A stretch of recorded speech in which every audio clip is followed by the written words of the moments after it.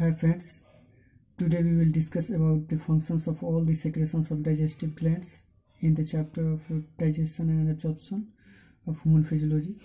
तो सबसे पहले हम लोग ह्यूमेंट्री कैनल का इनिशियल पार्ट के ग्लैंड सेलेब्री ग्लैंड के जो सेक्रेशंस होते हैं उनके फ़ंक्शंस के विषय में पढ़ेंगे तो सबसे पहले जो सेलेब्री ग्लैंड का जो सेक्रेशन होता है वो होता है आपका म्यूकस यानी कि सलाइवा म्यूकस जो मेनली कंपोनेंट होते हैं सलाइवा के ये होते हैं। सलाइवा का जो मेजर रोल क्या होता है, इनके फ़ंक्शन से यदि देखें तो हम लोग फ़ंक्शंस में आपको it lubricates lubricates and adhere adhere the masticated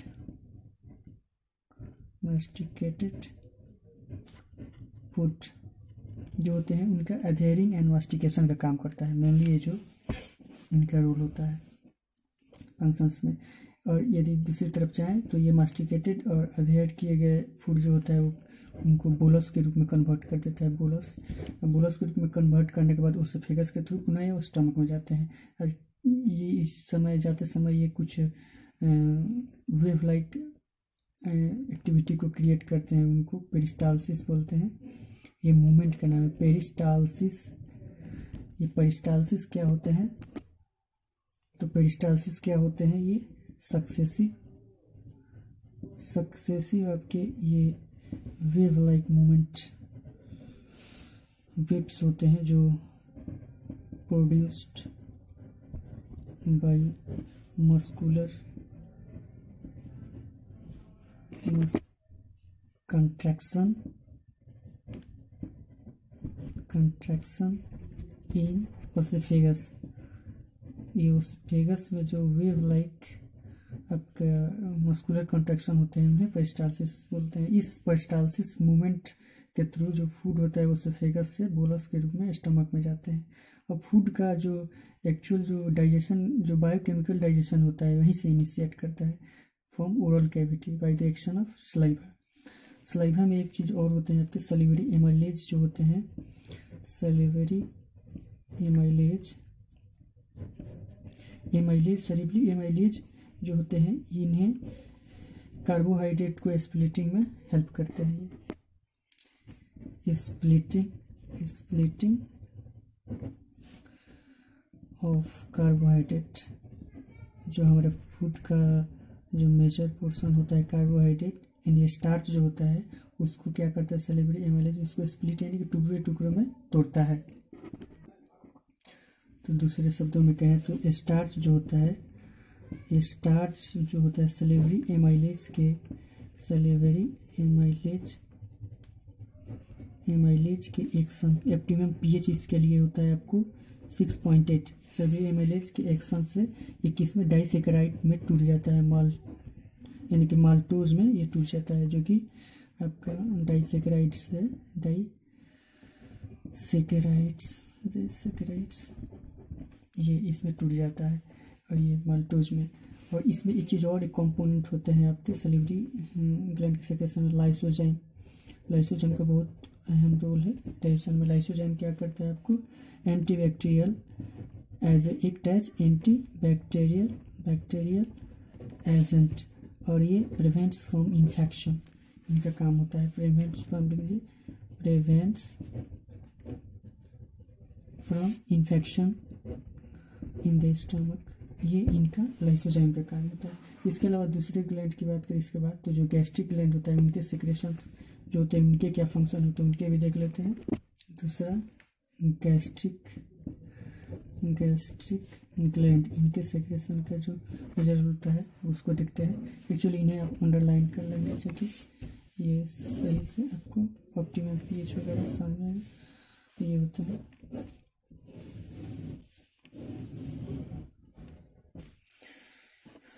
ये आपके हुए। गैस्ट्रिक ग्लैंड में आए तो जो फ़ूड होता है, जो स्टमक में जाने के बाद गैस्ट्रिक ग्लैंड मिलता है, उसमें जो फ़ूड, जो पार्सली डाइजेस्टेड जो फ़ूड होता है, काइन काइन बोलते हैं उनको, जो कि एस्टिक एसिड जूसेस जो है मिक्सअप हो जाते हैं by the churning movement of the stomach chyme word जो है काइम का मतलब होता है partially digested food partially digested digested food जो होते हैं जो स्टमक के चर्निंग मूवमेंट द्वारा, सभी फ़ूड एसिडिक जूसेस जो होता है, जो कि स्टमक द्वारा सीक्रेट किया जाता है, उसमें मिक्सअप हो जाते हैं। इन्हीं पार्शियली डाइजेस्टेड फ़ूड को काइम बोलते हैं। इसके आगे देखे तो देखे तो पेप्सिनोजन पेप्सिनोजन जो सेक्रेशन होता है, जो गैस्ट्रिक ग्लैंड द्वारा सेक्रेट किया जाता है, ये एस जो कि गैस्ट्रिक ग्लैंड के द्वारा ही सेक्रेट किया जाता है, ये एस के प्रजेंस में ये आ करके पेप्सिनोजन जो होता है, वो एक्टिव फॉर्म अपने पेप्सिन में कन्वर्ट हो जाता है। पेप्सिनोजन जो है इनएक्टिव फॉर्म है। ये एस के प्रेजेंस में एक्टिव फॉर्म पेप्सिन में कन्वर्ट हो जाता है, जो कि प्रोटियोलाइटिक इंजाइम होता है। प्रोटियोलाइटिक इंजाइम इसको बोलते हैं, क्योंकि प्रोटीन का डाइजेशन करता है। प्रोटीन्स को पेप्टोन्स एंड प्रोटियोजेस में तोड़ता है। तो पुनः ये जब एक्टिव फॉर्म में पेप्सिन हो जाता है तो पुनः ये प्रोटीन्स के ऊपर एक्ट करता है, जो हमारे स्टमक के प्रोटीन्स होते हैं उन पर एक्ट करके ये proteoses proteoses and peptones peptones में इन्हें कन्वर्ट कर देता है। कौन? तो पेप्सिन पेप्सिन यहाँ पे पीएच जो ऑप्टिमम पीएच होता है, वो वन पॉइंट एट होता है। ये पेप्टाइड्स भी बोलते हैं इनको पेप्टाइड्स दोनों को। ये इन दोनों को बोलते हैं। पुनः जो गैस्ट्रिक ग्लैंड के अंदर जो म्यूकस एंड बाई कार्बोनेट्स जो सेक्रेट होते हैं बाई कार्बोनेट्स ये बाई कार्बोनेट्स क्या करते हैं? ये जो हाईली जो एसिडिक मीडियम होते हैं, उनको अल्कलाइन नेचर प्रोवाइड करते हैं and prevents prevents from highly acidic acidic medium जो कि हमारे इंटेस्टाइन के यानी स्टमक के जो इनर वाल को हाईली एसिडिक मीडियम से उसके एक्सकोरिएशन का खतरा होता है, इसके से ये प्रिवेंट करते हैं। कौन? मुकोस और बाइकार्बोनेट्स तो ये आपके गैस्ट्रिक ग्लैंड के अंदर का फ़ंक्शन हुआ। इसके बाद क्या आगे ग्लैंड का देखते हैं। इसके बाद जो होता है पेनक्रियाज ग्लैंड होता है, तीन नंबर में यदि देखें तो पेनक्रियाज ये ग्लैंड का भी सेक्रेशन जो होता है, इनके फ़ंक्शन होता है। एक्चुअल पेनक्रियाज में क्या होता है पेनक्रियाज ये पेनक्रियाज का जो सेक्रेशन होता है ट्रेप्सिनोजन होता है, इसका एक इम्पोर्टेंट सेक्रेशन ट्रेप्सिनोजन होता है, ये ट्रेप्सिनोजन क्या होता है? जो इंटेस्टाइन का जो हम लोग बताया, हम आपको बताया था इंटेरोकाइनेज ये इंटेस्टाइन का जो सेक्रेशन इंटेरोकाइनेज होता है जो एंजाइम में, इनके प्रजेंस में जा करके ये ट्रेप्सिनोजन ट्रेप्सिन में ट्रेप्सिन में कन्वर्ट हो जाता है, जो कि ट्रेप्सिनोजन इनएक्टिव फॉर्म में एक एक्टिव फॉर्म ट्रेप्सिन में कन्वर्ट हो जाता है। अब पुनः ये ट्रेप्सिन जो एक्टिव फॉर्म में हो चुका है, ये पुनः जितने भी अदर सेक्रेशंस होते हैं पेनक्रियाज के, जैसे काइमो काइमोट्रेप्सिनोजन है, उसको काइमोट्रेप्सिन में कन्वर्ट कर देता है। ये सब इनएक्टिव फॉर्म में है, ये इनएक्टिव फॉर्म में है। इसके अलावा, यदि एग्ज़ाम्पल में लीजिए, जैसे काइमोट्रेप्सिनोजन है काइमोट्रेप्सिनोजन इनको क्या करता है, ये पुनः ट्रिप्सिन इस पर एक्ट करेगा। ट्रिप्सिन इस पर एक्ट करके इन्हें काइमो ट्रिप्सिन काइमो काइमो ट्रिप्सिन इसमें इन्हें कन्वर्ट कर दिया इसी तरह प्रो कार्बोक्सी पेप्टिडेज जो होता है, इसको कार्बोक्सी पेप्टिडेज में ट्रिप्सिन कन्वर्ट करेगा। पहले ट्रिप्सिनोजन को इंटेरोकाइनेज जो इनएक्टिव फॉर्म में होता है ट्रिप्सिनोजन इंटेरोकाइनेज इसे ट्रिप्सिन में एक्टिव फॉर्म में किया। उसके बाद ट्रिप्सिन जो अदर जितने भी पेनक्रियाज सेक्रेशन उस पर एक्ट करके उन्हें एक्टिव फॉर्म में करेगा। ये हुए आपके पेनक्रियाज के जो सेक्रेशन उनका वर्क इसके बाद हम लोग देखेंगे, इसके बाद जो लीवर का सेक्रेशन है, जो पाइल सेक्रेट होता है, उसका वर्क इसके बाद जो अगला ग्लैंड है वो लीवर इनके सेक्रेशन का जो एक्शन इसमें जो बाइल होता है बाइल का मेन फ़ंक्शन क्या होता है? ये इमल्सिफिकेशन ऑफ़ फैट्स इनका काम कार्य होता है।